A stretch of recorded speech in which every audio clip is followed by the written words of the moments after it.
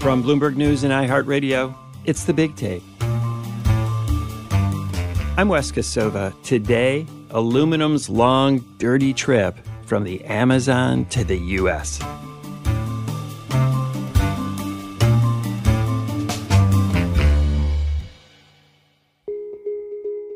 The Ford F 150 pickup truck is the best selling vehicle in the US and has been for decades. And when the company unveiled the all electric version called the Lightning, it was an immediate hit and sold out. One advantage of electric over gasoline powered vehicles is, of course, that the motor is cleaner and causes less pollution. That's not always the case, though, when it comes to other parts on the vehicle. Like all cars and trucks, the F 150 Lightning is made with a lot of aluminum, hundreds of pounds of it. And some key parts are made with aluminum that would be hard to call environmentally friendly. Bloomberg senior correspondents Sheridan Prasso in Washington and Jessica Brice in Sao Paulo, Brazil, trace some aluminum parts on the F 150 EV back through a complex supply chain to the heart of the Amazon in Brazil. Thousands of residents are now suing a refiner that operates there. They claim the aluminum industry has made their water undrinkable, that it's harmed the Amazon's fragile ecosystem, and it's made them sick. Sheridan and Jessica are here now to tell us what they found and how Ford has responded. Sheridan, what first made you want to look into this story? So, sometime last year, I heard about a lawsuit against this company called Norsk Hydro. It's a Norwegian company. It has offices around the world. It has a refinery for alumina in Brazil in the Amazon region. And the people who live around it filed a class action lawsuit. The suit represents 11,000 people who live around the refinery. They are suing the company for causing environmental damage and affecting the health of the community. That is what they claim in the suit. The company denies these claims and says its operations meet Brazilian laws and environmental requirements. Sheridan, let me ask you, because we're going to hear a number of terms here. What is the difference between alumina and aluminum? How is aluminum actually made? So, what happens is there's a rock in the ground called bauxite that is red colored, and mining companies take it out of the ground they grind it all up into a powder and dry it out and send it for processing at an alumina refinery. The refinery turns that red bauxite into a white powder called alumina. It separates the red and leaves just the white. That white powder is then what is used for the smelting process to turn it into aluminum. And that very complicated, kind of messy, dirty process is at the heart of these lawsuits and the complaints that people have about the environment and their own health. I went to talk to people both at the site of the mine itself, that's located in the center of the Amazon in a, a national forest area, in fact, in the rainforest. And I also talked to the people who live around the alumina refinery down at the end of the Amazon River. And in both of those places, people cited environmental damage and damage to their health as a result of these processes. Jessica, this alumina, which comes from Brazil, winds up in many different products around the world. Is that right? It does. Some of the aluminum is processed into aluminum here in Brazil, but a lot of it goes to North America and Europe. Generally, the aerospace industry, the automotive industry, and the beverage industry use a lot of this alumina in aluminum. And what we focused on is how this aluminum ends up in the Ford F 150. And the reason we chose the F 150 is because when Ford announced that they were making the all electric F 150 EV Lightning last year, a lot of the auto parts companies, which don't normally reveal who their customers are, supply chains tend to be a black box announced that they are supplying parts to the F 150. And we didn't know that information previously. So, what that allowed us to do is to be able to trace all of those aluminum parts suppliers. If you look backwards, goes back to Canada where the aluminum is smelted from the alumina that comes from Brazil. And 90% of the alumina that Canada uses to turn into aluminum comes from this region of the Amazon. But another reason that we chose the F 150 to focus on is because when Ford announced their electric vehicle, they said, This is the truck of the future. And they asked, Can a truck change everything? And the key to transitioning, as the Biden administration is pushing, the key to transitioning to a more environmental future is getting middle America, the rest of America, not just people who buy Teslas in California or uh, the East Coast, but people who drive pickup trucks. If you can convince these people that electric vehicles are the future, that changes everything. And so that's why we chose Ford because it's iconic. It's the best selling pickup truck in America and has been for decades. Once we started tracing it, it turned out that the aluminum that is made from this alumina, from this bauxite in the Amazon, is in the exterior panels of the F 150. It's in something called a rocker that runs from the front door to the back door underneath the doors. It's in other parts, including the tubing for the frame on the interior of the cab. It's very, very hard to find any aluminum in the supply chain that is not touching the Amazon. Jessica, long before this aluminum is used in parts for the Ford F 150 Lightning. It has its origins deep in the Amazon. Can you explain the start of this process? The very beginning of this supply chain is in the heart of the Amazon at a mine called MRN. That mine's been operating for decades. And when it originally started operating, the emphasis on environmental protection wasn't as great they went out there and they polluted a lot of the water. Um, they dumped a lot of the waste, and communities there are still suffering from that. MRN now says that they have an open dialogue with a lot of the folks who live around in these communities. They say they test the water to make sure that the pollution is not happening but they are still located in the middle of a nationally protected forest. And some of the expansion that they want to do now, they want to expand quite dramatically into that forest. It overlaps with a protected area known as a quilombola, which is land that's been set aside for descendants of formerly enslaved people. Just the fact that it's in the middle of a national rainforest in the Amazon, it's going to have to deforest a lot of that land in order to get to that bauxite. If you talk to MRN, their executives say that there's a real difference in perception about what the local communities say is happening to them and what the mine says it's actually doing. The mining company studies the water and sends those studies to the uh, environmental regulator every year. We weren't able to get that data, but they say that those studies show that the water is okay for those folks. However, the perception of the communities is that it's not at all okay. And what we're really talking about here is that the lack of law in Brazil to protect these communities and to prevent this sort of pollution from happening or monitoring it or catching it, it's just not there. MRN is operating within the laws of Brazil. It's just that the laws are incredibly weak. Sheridan, we think of the Amazon as being wild and remote, but in fact, the area around this mine has a lot of people living around it. Is that right? The mine is located in such a huge area that is surrounded by water on at least three sides of it. Communities are dotted all along the area where the mine is located.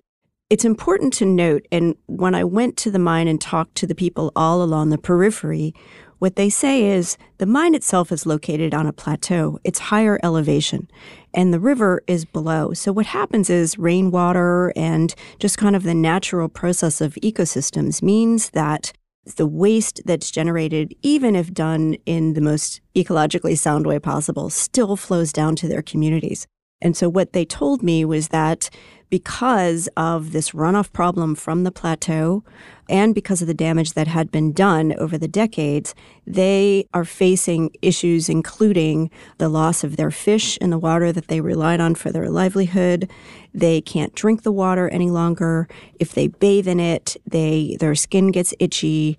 In certain seasons around a lake that MRN filled up with mine tailings in the 80s. The mine tailings are still there. And in the dry season, the lake dries up, red mud is visible, fish nearby turn red.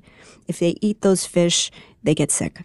Sheridan, you spoke to one woman who lives along the Amazon and has been affected by this. I spoke to Maria Dilma dos Santos, who lives on the edge of Batata Lake, where MRN had dumped their mining waste back in the 80s. It's still affecting their lives profoundly every day. da bauxita. É vermelha.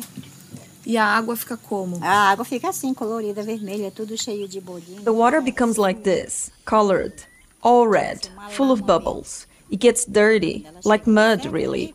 When it comes and dries, it's like mud. You can't see anything at the bottom. Even our feet, when we dip them in, we can't see anything. It's like mud, half white, half red. It's worse if we dip our feet in. Sheridan, you also asked this same woman whether she thinks the water will ever get cleaned up. Não, senhora. Não, porque para ir para dentro é muito grande esse lago e não tem como limpar. Não, no, no. Because to go in, this lake is very big and there's no way to clean it. Unless Jesus came down and said he was going to clean it because he has the power to do so. But I don't think there's anyone's machine that could clean it. The bauxite is a lot, so much. These are communities, and this is a region that's just extremely remote. It is very difficult to get there. And these communities are traditional communities that still live very much by, you know, fishing and what they can gather, what they can hunt. Any sort of pollution or any threat to that is a threat to their, their livelihoods. They don't have options. There aren't roads to these areas. They don't have options to go out and get other supplies or help or other water. When I asked people living around the mine how profoundly they are affected by the pollution, it became clear that it's become even a part of their identity. One of them, Raimundo da Silva, who's 79 years old, started singing a song that he wrote about witnessing these changes over his lifetime. Muito lindo é o céu, mais bonito é o mar. Mas é feia a nossa água que ninguém pode tomar. Está na cara, está na vista, a grande poluição da sujeira da bauxita que vem da mineração. So this mine, MRN, pulls up the bauxite and what happens from there? They run it along a railway that goes to a port that is along a tributary of the Amazon River. At that port, they load it onto ships, big, hulking container ships, and they fill the holds of those ships with powdered bauxite that's been uh, ground up. And they take it 800 miles down the Amazon River to where the Amazon empties into the Atlantic Ocean, which is where the refinery is located. And Sheridan, you traveled down the Amazon behind one of these boats. Is that right? What did you find? As we went down the Amazon River, it's just an incredibly beautiful landscape, of course, as you can imagine, in infinite shades of green and missionary churches all dotting along the sides. And then right in the middle, these big, hulking container ships with tons of bauxite heading towards the refinery there's a real disequilibrium between the beautiful nature and the actual processes of getting this bauxite out of the middle of the Amazon. It skirts the equator and then comes back around to the refinery, which is located right at the heart of where the Amazon meets the Atlantic Ocean. Jessica and Sheridan, please stay with me. Our conversation continues after the break.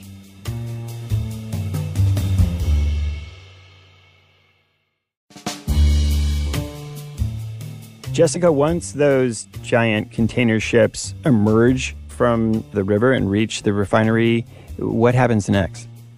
So the bauxite is unloaded at a couple refineries that are there. There's the Alunorte refiner, which is the one that we focused on. The bauxite's unloaded, brought into that refinery where it's turned into aluminum. Just to note here for a second, we're saying Norsk Hydro and Alunorte, but These names are also sometimes pronounced Norsk Hydro and Alunorte. Sheridan, just as people complain about health and environmental problems as a result of the mining of this bauxite, people who live around the refinery also say that that process makes them sick.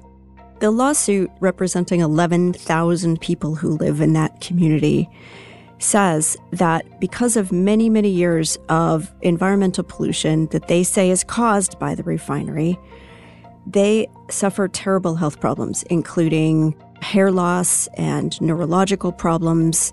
People report birth defects, including babies being born with their intestines outside their bodies. They say they have cancer and higher mortality than other communities. Studies of the lead and aluminum content in these people's bodies shows levels that are far, far higher than what is allowed for normal states of health. The water is not drinkable around the refinery, and in fact, Norsk Hydro provides free water to the community because the water can't be drunk. Sheridan, you spoke with Alunorte. What did they say about the things you're describing? So, Alunorte and its owner, Norsk Hydro, deny any and all environmental pollution, say they're operating completely within Brazilian standards, and that there is zero effect from them in the community. I suppose now that is what this lawsuit seeks to sort out. So, the Brazilian lawyer who's bringing the case had tried five times already to sue Alunorte and its owner, Norsk Hydro, in courts in Brazil. Did not make any progress on those cases. Those are all still pending. Then he teamed up with a global law firm and brought the case in the Netherlands. So that case is in Rotterdam District Court now. The court ruled that they do have jurisdiction over what's going on in Brazil because Norsk Hydro has subsidiaries and operations in the Netherlands. So that case is scheduled to be heard sometime in the coming months. Jessica, you said just a minute ago that Alunorte and MRN operate within Brazilian law. How is it that the Brazilian government allows this to happen? Why would they not want to protect the Amazon, which is sort of the beating heart of Brazil? It comes down to, you know, the commodities market. I mean, Brazil is a commodities powerhouse. So when you're talking about Amazon deforestation, the government is not doing their own studies of this water, uh, and they're not doing their own studies of the health effects. Do you expect that there will be closer scrutiny of this going forward? I expect there to be closer scrutiny of environmental damage going forward. The environmental regulator, the headcount there and the resources that they have access to was gutted. And that wasn't just under the administration of former President Jair Bolsonaro. Of course, he accelerated it, but that started years ago, years and years ago, because Brazil was in a very serious recession, embroiled in a very serious corruption scandal. So this is more than a decade in the making in which the environmental regulator has no teeth whatsoever. So the environmental agency, it acknowledges that it can't test water quality around the MRN mine, but it does do inspections. And over the past two decades, it's fined MRN 29 infractions totaling $6.6 million. And they say that they've only received 10% of that amount. I would like to give an example of the difference between what's going on on the ground and the environmental regulation. Norsk Hydro invited me into Alunorte, gave me a tour with a hard hat and a protective equipment and everything, and showed me all of their procedures for how they purify water and that they're good environmental stewards. That's what they told me. During that visit, I asked them about the emissions from the refinery. Alunorte burns coal. Every day in the morning at dawn and the evening at dusk, people say, and you can see this visibly, that there are emissions, big clouds, plumes that come out of the refinery. They call it smoke, and they say that that makes them choke, cough, and it feels like pepper in their throats. I asked Alunorte about this, and what they said is it's just steam, it's just water vapor. And I pressed them and said, but you know, people say it's making them cough and choke. And they said, no, all of our emissions meet environmental standards. So I went back to Norsk Hydro's annual report. In the report, it shows that burning coal from the Alunorte refinery emits a large amount of sulfur dioxide into the atmosphere, and their CO2 emissions are, and I calculated this, the equivalent of what Iceland produces in an entire year. And so when they say we're following the law, they're correct. Correct. So it's important to note that Alunorte is not the only industrial factory in the Barcarena area. It's an industrial hub in the north of Brazil. And even at Alunorte itself, there were a lot of accidents and spills that occurred before Norsk Hydro took over the refinery. Now the bauxite has been turned into alumina and it begins another long journey. It's loaded onto ships at the refineries in Brazil, and then it goes to at least the part that ends up in the US supply chain. It goes up to Quebec. And in Quebec, there are refineries that are owned by Rio Tinto and by Alcoa. Those refineries turn the alumina into aluminum. That aluminum is what comes back into the United States and turns into all of the parts. What do those smelters have to say about the source of the alumina that they're getting? The two companies that own the aluminum smelters in Quebec, and there are multiple smelters owned by these two companies, they have or have had ownership stakes in MRN Mine and the refineries that make the alumina both. So they know exactly the whole supply chain because they're part of the producers of it in the first place. Secondly, when you ask them about it, what they say is everybody along the whole process says, we certify our standards. Everything is certified by the Aluminum Stewardship Initiative, and everybody is required to sign supply chain code of conduct agreements. The problem with the certification process is, according to Human Rights Watch, which has challenged it, is that it's not rigorous enough. It's a box ticking exercise in some cases, which just relies on what the company has to say. And Norsk Hydro has a very clear point of view that they don't cause any environmental damage at all whatsoever in the Amazon. That's what they say. And that's what the certifiers of this aluminum supply chain hear. What they say also is that they're relying to some degree on other sources but according to Human Rights Watch and others who criticize this process, it's not thorough enough. And yet, from the beginning of the supply chain all the way to the end, each of the points along the way can claim that they are following the law and everything that they're doing is legal, and it is. Both the MRN mine and the Alunorte refinery are certified as meeting environmental standards. We'll be right back.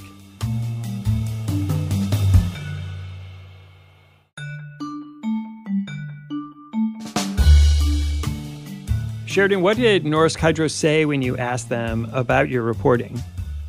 When I first looked to make the links between the lawsuit in Brazil against Norsk Hydro and the fact that they said in an announcement that they make a part for the F 150 EV, I went to Brazil, did all of the reporting around the refinery, and asked Norsk Hydro about the connection. And what they said was, oh, well, we don't source from Brazil for the part that we make for Ford. So I thought, how is it then that they're getting the aluminum in that case? So I started digging through shipping records, and what I was able to do is trace the chain from the alumina refinery in Brazil to Quebec, where it is turned into aluminum and then comes back, shipped back to the United States using U.S. import customs records. And by saying that we don't source from Brazil to our US factory, what they omitted from that statement was that it goes via Canada. Once I found all of the aluminum smelters in Canada are using this very same alumina from the Alunorte refinery, I was able to trace it to all of the aluminum in the F 150, at least what's visible on the exterior after I went back to them and said, I have found your shipping records that show that you are making the aluminum in Canada and then bringing it to the US, they confirmed that that was correct. Having studied a lot of different supply chains, commodity supply chains, This is a common practice in the industry, whether you're talking about beef production, you're talking about metals production. A lot of companies, when they say in their marketing campaigns that we are responsibly sourcing our raw materials, they're only talking one step back. All commodities chains have several steps back. I mean, it's a very long, complicated process that extends to halfway across the world. And so it feels very disingenuous when you say we're responsibly sourced, but you're only looking at your direct supplier. You also went to Ford. What did they say about your reporting on the source of aluminum used in their vehicles? So at first, Ford was very skeptical, and they thought that their supply chain doesn't extend back to Brazil. When I presented them the evidence that it does via Canada, they took it very seriously, and they issued a statement that said, We are committed to responsible sourcing that respects human rights and a clean environment, and we are now looking into these allegations as a result of your inquiry. Do you anticipate that they will change their source of aluminum for their trucks? The trouble with changing your source of aluminum is that there really isn't any other supply. The only solution here is to clean up the standards at the origin. We began this story talking about how people who live around both the mines and the refineries claim that they've become very sick and that it has damaged the environment. Where are these lawsuits now? What is the status of these cases? The case that's being brought in the Netherlands is scheduled for hearings in the coming months. The court already ruled that it has jurisdiction over what is happening in Brazil because Norsk Hydro has subsidiaries and operations in the Netherlands. So, what's going to happen there is that people from the area in Barcarena around the refinery are going to fly to the Netherlands and talk about how their health and their livelihoods have been impacted by the refinery and what they say is the pollution being caused by Norsk Hydro. Environmental laws in Brazil are very weak. Even if you had strong laws on the books, the justice system often just does not work. Prosecutors in Brazil will openly tell you that they don't have the tools to go out and punish cases of alleged pollution these cases will get stuck in the system for years or even decades. Ford and many other companies will need a lot more aluminum in the years ahead, not just for trucks, but for products of all kinds. Given what we're learning about where a lot of it comes from, what do we take away from this? Where do things go from here? It does seem like environmental standards need to be tightened and enforced at the source. And if the Brazilian government isn't able to do that, the companies need to take it upon themselves to improve how they operate.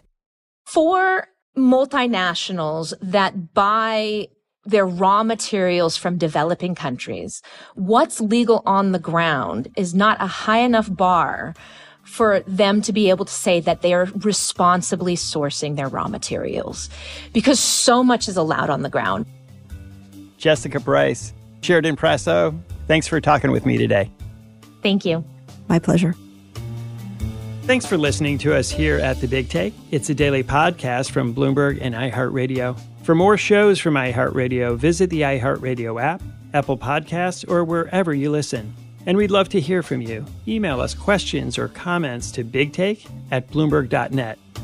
The supervising producer of The Big Take is Vicky Vergolina. Our senior producer is Catherine Fink. Federica Romaniello is our producer. Our associate producer is Zenab Siddiqui. Hilda Garcia is our engineer. Our original music was composed by Leo Sidran. I'm Wes Kosova. We'll be back tomorrow with another Big Take.